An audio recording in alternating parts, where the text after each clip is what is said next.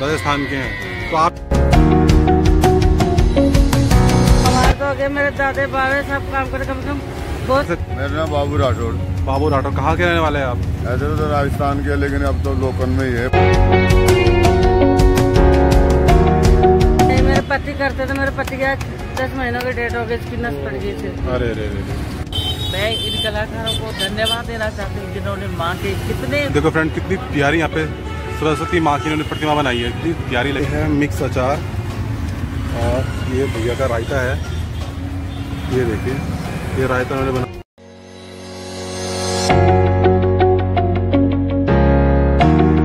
सब गाइस कैसे आप सब लोग?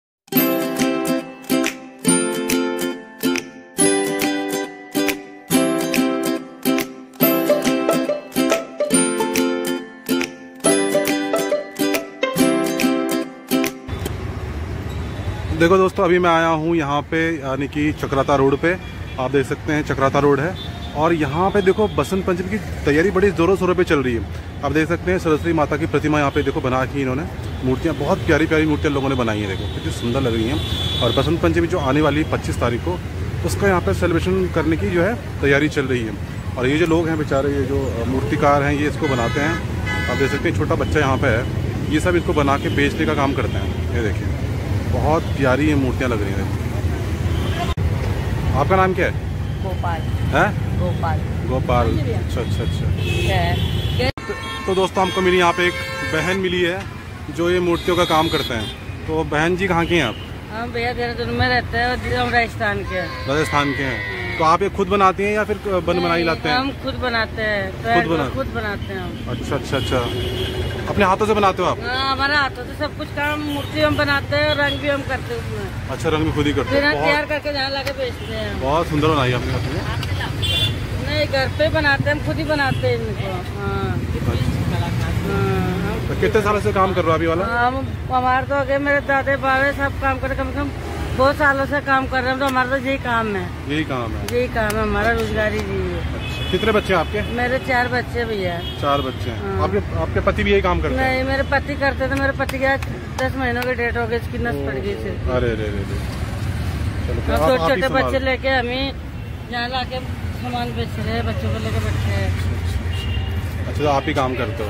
तो राजस्थान जाना होता है आपका? जाते साल में एक बार जाते हैं दस पंद्रह दिन रह के वापिस आ जाते हैं हम यहाँ। अच्छा। क्योंकि मेन काम आपका यहीं पे है।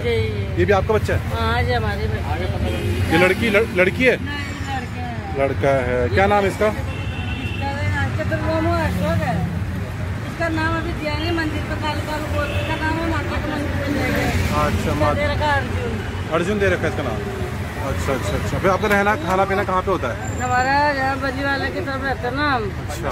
वहाँ झुपड़ी पलौट खा लिए वहाँ झुपड़ी झुपड़ी लगा के उसमें बनाते हैं वहीं रहते हैं हम। शाम को चले जाते हैं सुबह आ जाते हैं हम यहाँ। अच्छा अच्छा तो कोट का मेला हो गए तोते हो गए हिरन हो गए सौ फ़ीस का सामान बिक्री करते गाँव में।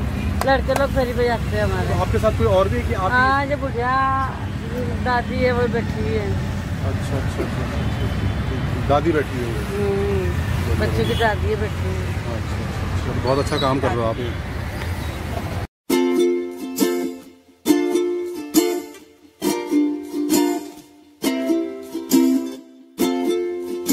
क्या नाम है आपका? मेरा नाम बाबू राठौड़ बाबू राठौर कहाँ के रहने वाले हैं आप? ऐसे तो राजस्थान के लेकिन अब तो लोकल में ही है परमानेंट देहरादून गई अच्छा तो आप क्या काम करते हैं? भाई ये मूर्तियों का काम है। अच्छा। मूर्तियों का काम करते हैं? मूर्तियों का काम हर सीज़न में माल बेचते गणपति की बना लेते हैं, हाँ, विश्वकर्मा की कर लेते हैं, सरस्वती माता की अभी छब्बीस तारीख की इनकी पूजा है। अच्छा। तो मतलब तीन चार पूजा हर साल में आती है। अच्छा अच्छा। सरस्वती की पूजा आ गई विश्वकर्मा की आ गई हाँ। गणपति की पूजा आ गई। अच्छा। दिवाली पे और थोड़ा बहुत कोई भी बाहर का आइटम ला के बेच सकते हैं जो दिवाली पे निकल जाए। अच्छा अच्छा। तो भैया इनके क्या क्या रेट क्या क्या इनके? अब रेट तो इनका ऐसे है। बताने में साढ़े नौ हज़ार रुपये बताते हैं। हाँ। सात हज़ार साढ़े सात हज़ार छः हज़ार तक की मतलब मूर्ति जाती है हमारी बड़ी वाली। अच्छा ये बड़ी वाली कितने की है वाली? ये जो साढ़े नौ हज़ार की बताते हैं। अच्छा। हज़ार से कम नहीं देते। तेरह हज़ार से कम नहीं देते? छः हज़ार रुपये से। छह हज़ार से कम नहीं देते? अच्छा अच्छा अच्छा। बढ़िया बढ़िया काम कर रहे हो। तो बनाता कौन है ये? बनाने वाले कारीगर जयपुर में रहते हैं। उनको बुलाना पड़ता है यहाँ पे किराए के ऊपर। अच्छा अच्छा अच्छा। हाँ बनवाना पड़ता है उनको आना जाने का खर्चा भाड़ी उनको किराया दे के बुलाना पड़ता है। तो ये चीनी मिट्टी की बनती है? ये चीनी चौक मिट्टी की होती है। कौन सी? चौक मिट्टी होती है चौक मिट्टी। चौक मिट्टी की बनती हाँ, है। ये पानी में जाते ही आधे घंटे में एक घंटे में मतलब घुल जाती है साबुत रहती नहीं। अच्छा अच्छा। पॉल्यूशन नहीं करती प्रदूषण नहीं फैलाती। हाँ जी। अच्छा अच्छा अच्छा अच्छा ठीक तो कितने साल से भैया काम कर रहे हैं अभी वाला? ये तो हमारा हो गया तीस पैंतीस साल हो गए काम करते करते मूर्तियों का। तीस पैंतीस साल हो गए। हाँ। और रहते कहाँ पे आप? हम यहीं पे रहते हैं परमानेंट यहीं पे रहने का है। यहीं पे रहने का? हाँ, यहीं पे। कहाँ पे? ये इधर? हाँ इधर भी रहते हैं झुग्गी रात को तिरपाल लगा देते हैं। अच्छा। तो बच्चे उधर सो जाते हैं। अच्छा अच्छा अच्छा अच्छा अच्छा, ठीक ठीक बढ़िया।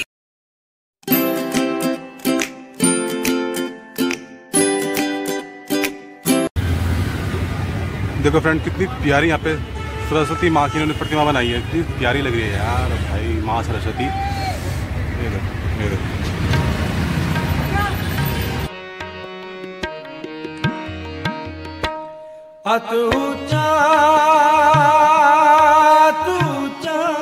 मैं इन कलाकारों को धन्यवाद देना चाहती हूँ जिन्होंने माँ के कितने रूप दिखाए हैं कितने रूप में अलग अलग कितनी मूर्तियाँ बनाई हैं। धन्य हो इनकी कलाकारी को।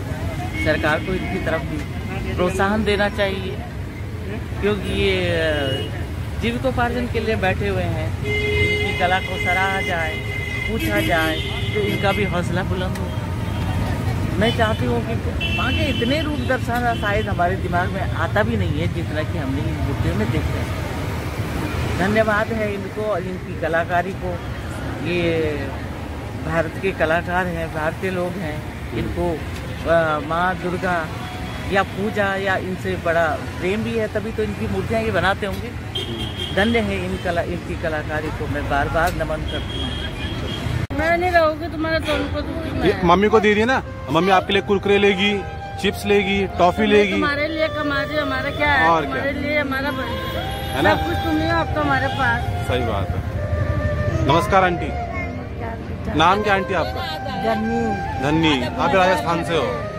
अच्छा अच्छा। तबीयत ठीक है आपकी? चल रहा है बस काम। छोटे चाचा के बेटी जवान लड़कियाँ है। चोर का मामला है हाँ सही बात है बता तो फ्रेंड जैसे आपने देखा कि मैं यहाँ पे एक मूर्तिकार फैमिली से मिला जो कि राजस्थान से बिलोंग करते हैं। और बहुत कठिन परिस्थिति में रह के वो यहाँ पे काम कर रहे हैं। उनके हस्बैंड भी अभी कुछ टाइम पहले एक्सपायर हो चुके हैं तो सारी ज़िम्मेदारी उनके कंधों के ऊपर है। दो दो तीन तीन बच्चे हैं उनको पालना है पोसना है। और देखो इस तरह से रोड पे फुटपाथ पे दुकान लगा के आप देख सकते हैं, इतनी मेहनत कर रहे हैं ये लोग और प्यारी प्यारी मूर्तियाँ बना रहे हैं। और जहाँ बात होती है आत्मनिर्भरता की यार तो कहाँ आप ढूंढ रहे हैं आत्मनिर्भरता? इनको देखो, इनके पास कुछ नहीं है, तभी आत्मनिर्भर होकर मूर्तियाँ बना रहे हैं। अपने बच्चों को पाल रहे हैं अभी कला को प्रदर्शित कर रहे हैं। लेकिन कहाँ वो सरकार होती है जो इन लोगों की हेल्प नहीं करती है, कि इनको एक रोज़गार मिल जाए साथ के साथ में? ना खुद ये काम कर रहे हैं, लेकिन साथ में इनका कोई रोज़गार, सरकारी कुछ पॉलिसी हो, इन लोगों की जिनका कोई रहने, कोई काम करने वाला नहीं हस्बैंड होनी चाहिए। कि गवर्नमेंट के लिए कुछ अलग से करे एटलीस्ट वो शॉप दे बना के या फिर घर की कोई व्यवस्था करे। तो आप मैं चाहूँगा कि वीडियो लोगों के पास पहुँचे सरकार के पास पहुँचे और उनके लिए कुछ देखें कुछ करें इन लोगों को। यहाँ पे हैं बंटा वाले हैं भैया हमारे लिए बंटा बना रहे हैं। हम भैया आपका? है? जयप्रकाश। कहाँ के रहने वाले हो? अच्छा कब से बना रहे हो गोला? अभी स्टार्ट किया काम? नया नया काम? बढ़िया तो बनाते हो ना? अच्छा अच्छा चलो गोला बना रहे भैया। दिखा दो आपको गोला। एक बर्फ़ रख दी उन्होंने कौन कौन से फ्लेवर है आपके पास? ये वाले। ठीक ठीक। चलो।